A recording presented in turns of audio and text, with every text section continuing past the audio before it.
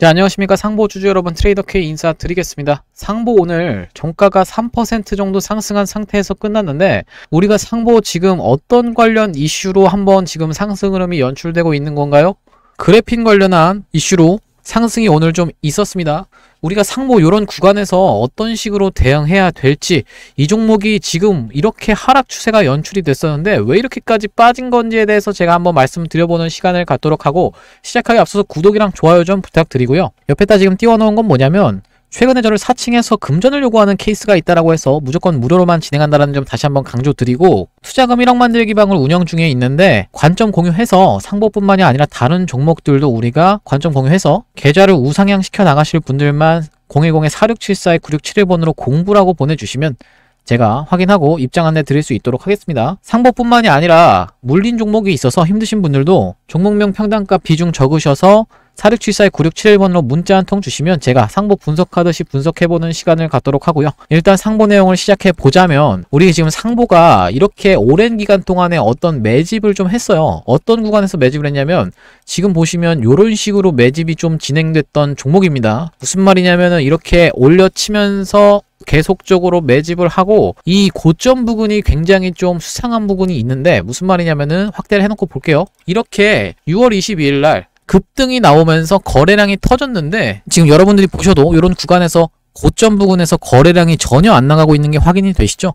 무슨 말이냐면 들어 올려서 이런 구간에서 털어먹을 거면은 쌩 난리 부르스를 치면서 이렇게 거래량이 막 터져야지만이 아 이게 여기서 세력이 아래에서 산 거를 물량을 정리하고 팔고 나갔구나라고 생각을 할 수가 있는데 전혀 거래량이 나간 흔적 없이 양봉이 뜨면서 꼬리가 그렇게 길지 않은 양봉이 뜨면서 종가를 여기서 마감해놓고 이렇게 흘러내리게 됐는데요.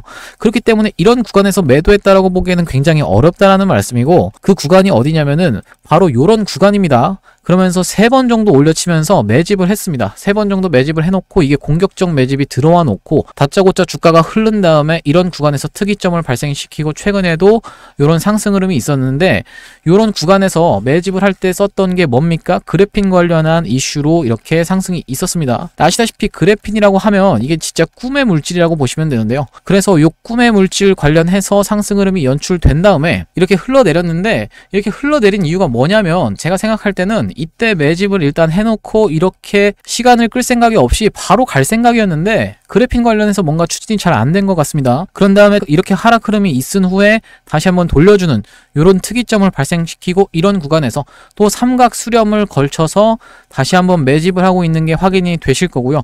이런 구간에서 매집을 철저하게 물량 장악을 해놓은 다음에 다시 한번 특이점을 발생시켰는데 어떤 이슈로 초전도체 관련 이슈로 특이점이 발견됐었던 종목입니다. 이렇게 상보를 좀 확대를 해놓고 보시면 이 구간이 삼각 수렴이라고 제가 말씀을 드렸는데 보시면 고점을 점점 낮춰가면서 이런 식으로 수렴을 하면서 그 구간을 갭으로 돌파해서 이렇게 상승해놓고 이런 구간에서 변동성을 준 다음에 한번 무너뜨리면서 어느 구간에서 1년선 구간에서 장기 이평선에서 지금 반등이 나오고 있는 상황인데요. 오늘 기사 내용을 잠깐 보시면 자 여기 뭐라고 나와 있나요? 아주대 꿈의 물질 그래핀 활용 초경량 고분자 복합 소재 구현이라고 하면서 오늘 나온 기사입니다. 오늘 오전에 나온 기사고 이 기사가 나오면서 그 전까지 없던 거래 대금이 들어왔던 상보인데요. 이 다음번 기사도 뭐가 나왔냐면은 단국대 주수연 교수 전기전도 두 배 높은 나노그래핀 개발이라고 하면서 그래핀 관련 기사가 또 마찬가지로 나와 있고 우리가 이 그래핀 관련 테마들은 독특한 게 뭐냐면 직접적으로 뭐 방금 나온 기사 내용의 그런 연구소들의 지분을 갖고 있다던가 이렇다기보다는 기사가 그냥 나오면 일단은 그래핀 관련주들이 움직였던 게 아주 특이한 점입니다. 상보가 뭔가를 한다라는 게 아니라 그냥 그래핀 관련한 뉴스가 나오면 상보가 많이 움직였었고 대표적으로 또 뭐가 있었냐면 크리스탈 신 소재가 예전에 많이 움직였었죠. 이렇게 대시세가 났던 종목인데 크리스탈 신소재는 최근에 굉장히 추세가 안 좋습니다. 그렇죠? 물론 작업한 흔적은 조금 보여요. 그런데 지금 굉장히 추세가 안 좋으면서 오늘 2% 정도 살짝 살려주는 캔들이 발생했다라는 말씀이고요. 만약에 한다라고 해도 우리가 이렇게 1년선이 위에 있는 종목을 한다라기보다는 1년선 위에 있는 종목인 상보를 하는 게 낫겠죠. 그리고 대창도 예전에 그래핀 관련주로 한번 분류가 됐었는데 최근에 이렇게 수상한 흐름을 보이고 있지만 이거는 무엇 관련이다? 구리 관련해서 좀 수상한 흐름을 보이고 있다라는 예, 말씀이고 EN 플러스도 예전에 그런 적이 있었는데 지금 얘, 얘 같은 경우도 1년선이 위에 있기 때문에 이런 종목보다는 상보를 하는 게 낫겠죠.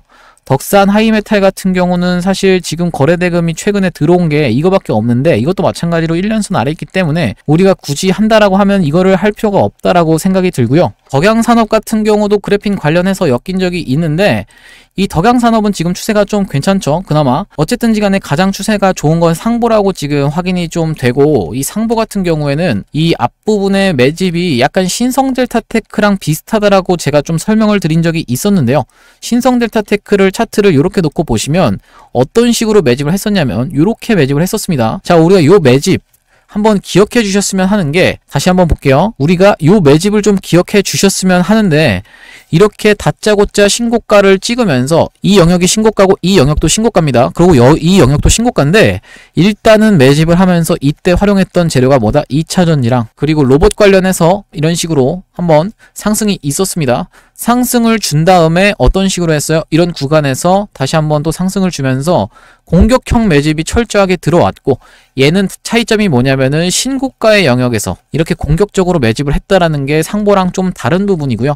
이렇게 공격적으로 매집을 물량 장악을 해놓고 쭉 흐르면서 이런 구간에서 다시 한번 특이점을 발생시키고 신고가로 날아갔는데 이때 매집했던 건 뭐라고요? 2차 전지랑 로봇. 근데 이때 붙은 재료는 뭐예요? 초전도체 관련 종목이죠.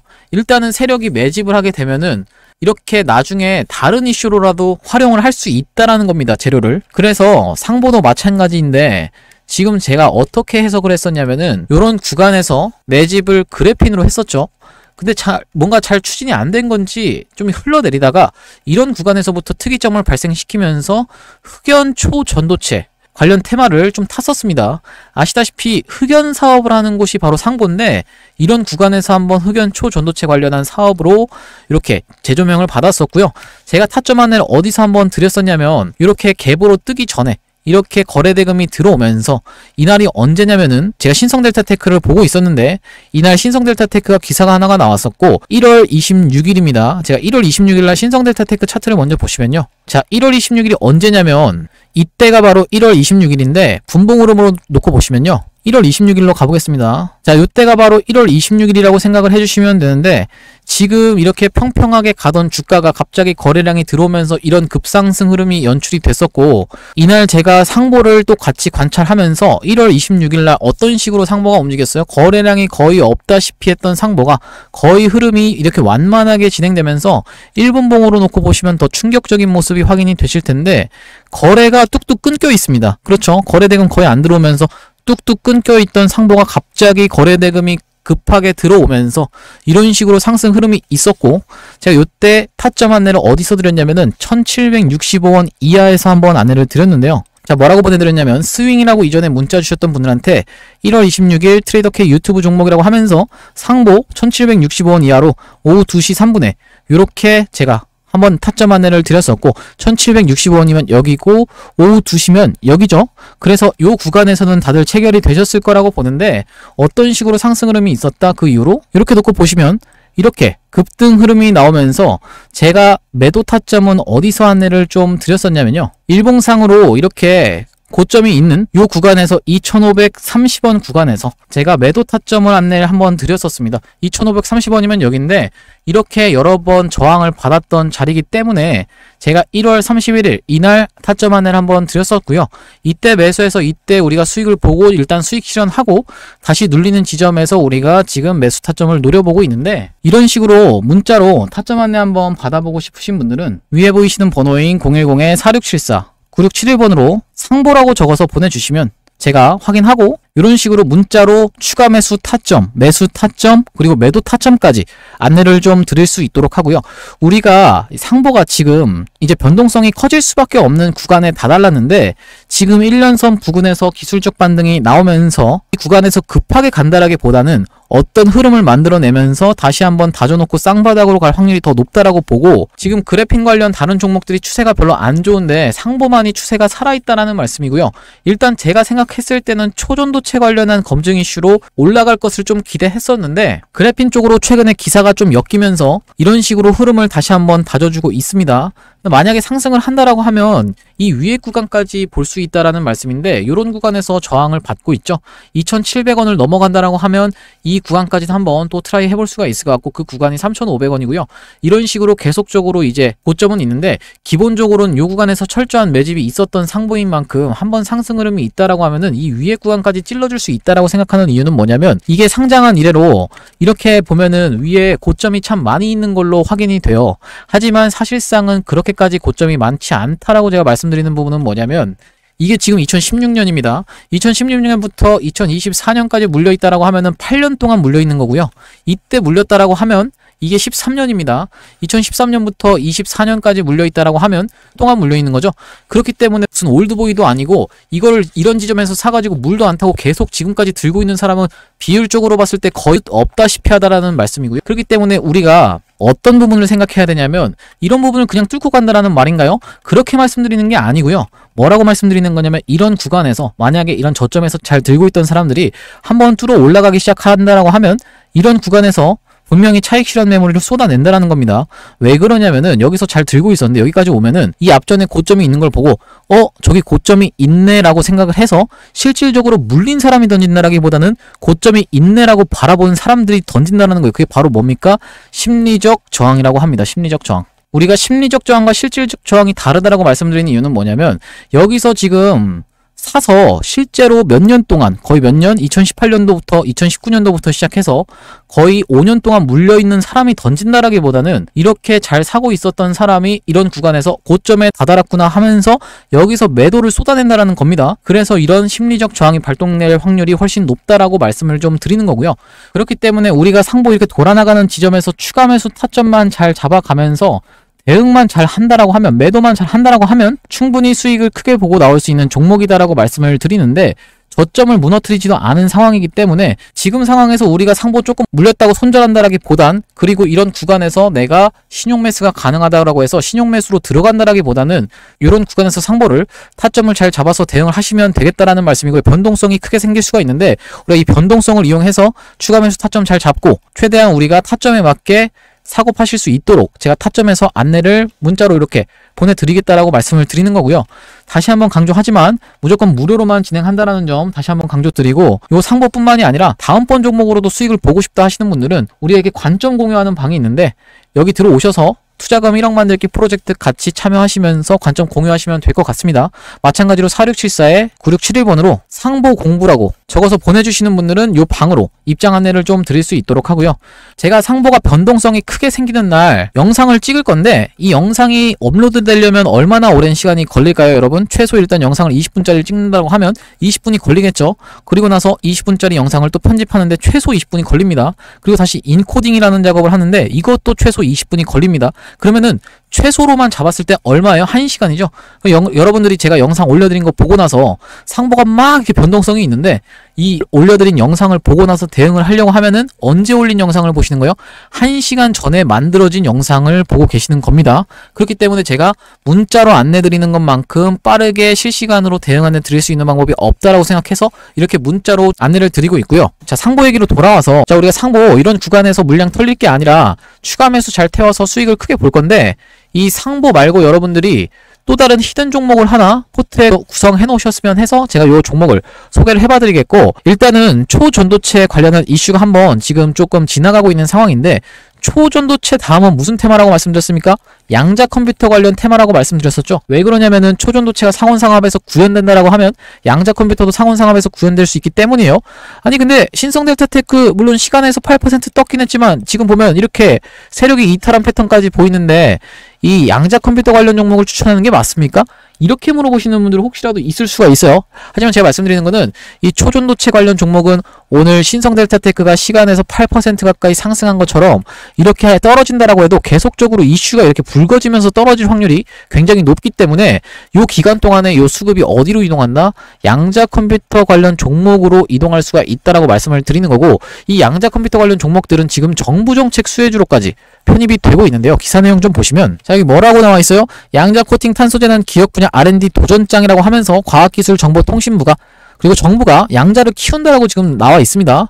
그리고 이 기사 내용은 뭐냐면 SKT가 7개사가 참여하는 퀀텀 동맹을 맺었다라고 하면서 155조 양자 시장을 공략하겠다고 저저번 주에 기사가 나와 있는데요. 여기 보시면 우리로랑 엑스게이트가 확인이 되시죠.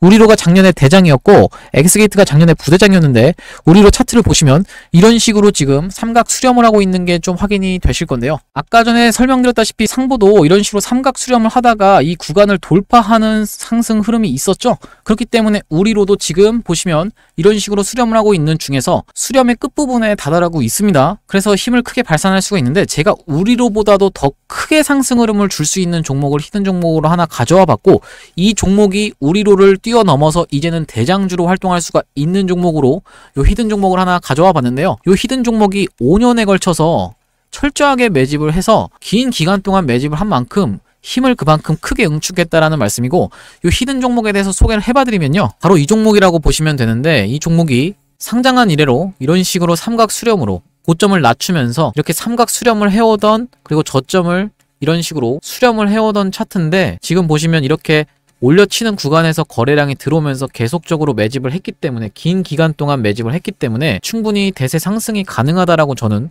생각해서 이 종목을 가져오게 됐는데요. 최근의 흐름이 굉장히 좋기 때문에 보시면 장기 이동 평균선인 검은색 선, 검은색 선을 위에서 주가가 계속 놀고 있죠. 그러면서 수상한 흐름을 만들어가는 거를 여러분들도 지금 느끼실 수가 있을 겁니다. 최근에 이렇게 거래량이 들어오는 부근부터 시작해서 장기 하락 추세로 가던 이런 흐름을 돌려주기 시작했다라는 말씀이고요. 오랫동안 매집을 한 만큼 큰 시세가 나올 수 있는 종목이고 양자 컴퓨터 양자 암호 관련해서 대세 상승을 이끌어 나갈 수 있는 바닥에서 거래량이 들어온 그리고 프로그램에 매수세가 유입되고 있는 종목이다라고 이 종목을 선정해서 히든 종목으로 한번 가져와 봤고요. 이 종목이 이런 구간에서도 놓고 보시면요. 이렇게 올려치는 구간 동안에 계속적으로 거래량은 들어오는데 이런 고점 부근, 이런 고점 부근에서도 거래량이 딱히 나가는 흔적 없이 매집만 이루어진 지가 굉장히 오래된 종목이기 때문에 이 종목을 통해서 여러분들이 손실복구 하실 수 있고 오히려 수익으로 전환될 수 있다라고 생각해서 이 종목을 가져와 봤고요. 이 종목을 오픈된 장소에서 제가 유튜브에서 그냥 말씀드리는 것 자체가 이 종목의 매수세를 개인들의 물량을 태우는 것이어서 세력이 의도적으로 한번 주가를 내리고 갈 것까지 염두에 둬서 위에 보이시는 번호로 문자 보내주시는 분들한테만 제가 이 종목 보내드릴 수 있도록 하고요. 위에 보이시는 번호인 010-4674에 9671번으로 히든이라고 보내주시면 제가 확인하고 이 양자 컴퓨터 관련주, 양자암호 관련주 보내드릴 수 있도록 하겠습니다. 충분히 이 종목이 만약에 대세 상승이 나온다라고 하면은 이런 전고점 구간까지만 가도 200% 가까운 상승이기 때문에 4674에 9671번으로 히든이라고 보내주시는 분들께 제가 이 종목 매수가, 매도가, 그리고 목표 기간이랑 비중까지 해서 제가 이 종목 안내드릴 수 있도록 하고요. 보시다시피 이렇게 굉장히 최근에 흐름이 좋은데 왜 좋다고 말씀드리냐면 여기서 이렇게 앞전에 찔러놨던 이런 구간이 결국에는 매집이었다라는 게 무슨 말이냐면 이 구간의 박스권 상단까지 살금살금 도달하고 있는데 거래량이 거의 늘어나지 않고 계속적으로 상승 흐름을 연출하고 있습니다. 무슨 말이에요? 여기까지 매집을 해놨고 기다리고 있다라는 겁니다. 슈팅을 기다리고 있고 슬금슬금 올리고 있는데 이 박스권 상단을 돌파하기 시작하는 시점부터는 본격적인 상승을 기대해 볼 수 있기 때문에 왜냐면 이 위로는 매물대가 낮기 때문에 그리고 이런 구간에서도 매집을 다 해놨기 때문에 지금 이슈를 받을 수 있는 양자 관련해서 이슈를 받을 수 있는 지금 시점에서 한번 돌파 흐름이 나오면 상단까지 이런 역사적 신고가 부근까지도 노려볼 수 있는 그런 상승이 나올 수 있는 종목으로 제가 이 종목을 선정했는데요. 이런 종목 같은 경우는 장기 이동 평균선인 검은 선이 지금 이렇게 딸려오는 과정에서 손절을 잡더라도 짧게 잡으면서 익절은 굉장히 길게 가져갈 수 있는 종목이기 때문에 이, 이 종목을 토대로 여러분들이 손실을 복구하셨으면 좋겠고 보시다시피 이 구간에서 가장 많은 매물대가 찍혀 있는 만큼 이 구간에서 집중적인 매물 소화가 있었다라는 게 확인이 되실 텐데요. 제가 유튜브 같이 오픈된 장소에서 말씀드려서 모든 분들이 타게 되면 이 종목이 갈 종목도 안 가면서 한번 개미털기가 나올 것이 분명하기 때문에 제가 지금 최근에 종목이 좋은 상황에서 급하게 가실 수 있는 종목으로 소전도체 다음 테마로 양자 컴퓨터로 갈 수 있는 종목으로 이 종목을 들어가셔야 된다라고 말씀을 드리는 거고 위에 보이시는 번호인 4674에 9671번으로 히든이라고 보내주시면 제가 확인하고 문자로 답장 안내 드릴 수 있도록 하겠습니다. 오늘도 분석 영상 시청해주셔서 감사하고요. 구독이랑 좋아요 한 번씩만 부탁드리겠습니다. 감사합니다.